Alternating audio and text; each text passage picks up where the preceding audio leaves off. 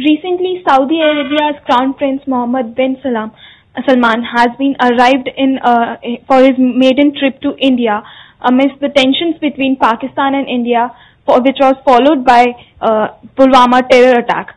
To talk about this issue, we have with us Kabir Taneja, who is a foreign policy expert at Observer Research Foundation. So, uh, first of all, I want to ask you that how fruitful this visit of Saudi's Crown Prince for India?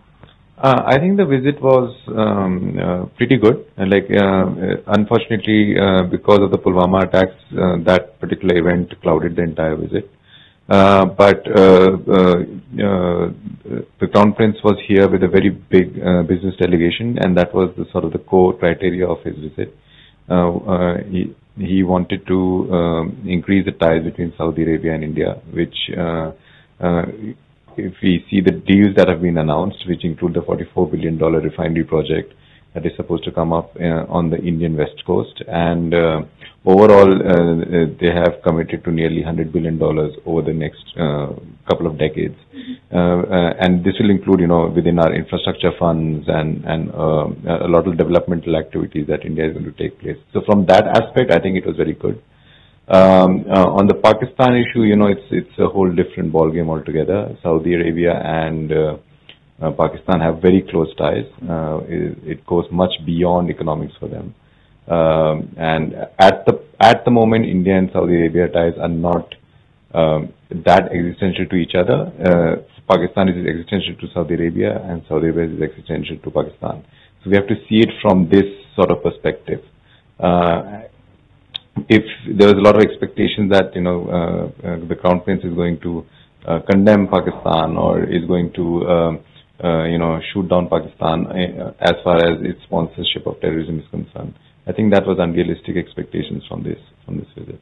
Uh, uh, when when it comes to joint statement uh, which was issued by the ministry, it they take uh, took a lot of time to issue that uh, statement. So, what is your opinion on that? I think it's it's good that they took a lot of time because that means it's thorough. If you go through it, it covers a whole um, uh, you know number of aspects of national interest for both India and Saudi Arabia.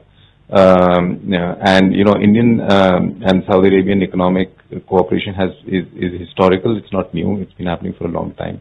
But it's the security aspect between the two countries which is gaining momentum. Uh, Saudi Arabia has uh, um, you know, deported uh, many uh, people wanted by India over the past couple of years. Saudi Arabia's closest ally, which is the United Arab Emirates, of course, has deported a number of economic defaulters and uh, people wanted in um, fraud cases and terror cases as well.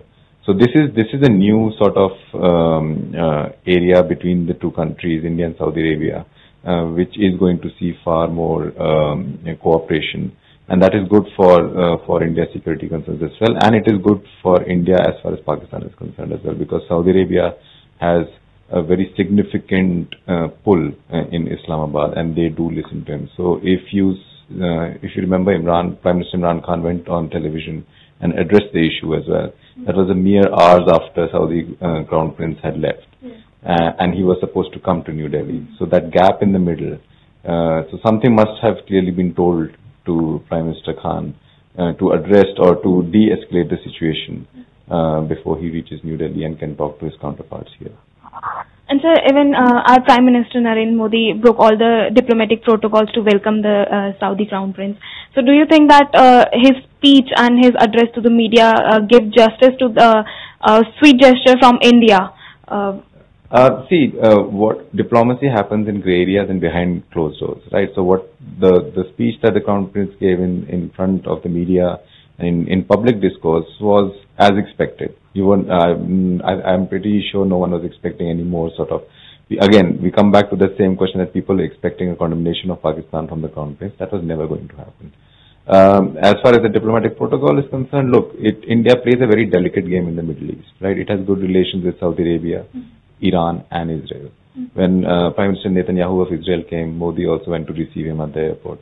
Uh, so it's it's it's in line with uh, India's policy on the Middle East. It's not personal. It's it's it's something that Prime Minister Modi has embraced with other leaders. So the other um, incoming leaders who have not come to India before should technically receive the same um, uh, welcome as per his personal uh, um, uh, options.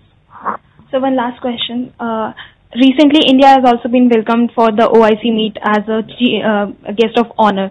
So do you think that it is a diplomatic success for our country?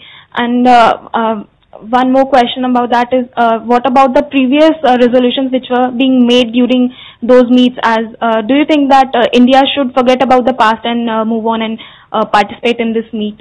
Yes, of course. I mean, if India has been invited as an honorary guest by the government UAE, and uh, uh, the Minister of External Affairs, Sushma Swaraj, has accepted and is going to go, which is a very good thing. Uh, And uh, specifically, you know, the the first OIC meet that happened in 1969, Pakistan had successfully managed to scuttle India's uh, participation. This was in uh, in Morocco, if I remember correctly. Uh, But dynamics have changed. You know, you have to remember, uh, uh, ultimately, um, what leads these kind of outreach from from the Middle East is economics. It's not politics, but it is economics. Uh, Pakistan's GDP is about the same as Maharashtra. So the the Middle East countries realize where the markets are.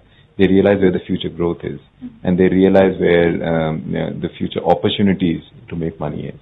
And according to that, they are realigning themselves now. So in if we you know rewind to the 1990s, Saudi Arabia would have never been in this current situation. They would they had a very um, platonic relationship with India, which was of course uh, that we are the country that provides uh, manual labor and um, uh, uh, and we buy oil from them. But now that dynamic has changed. Their uh, their approach towards New Delhi has changed, and that is because of uh, India's economic story.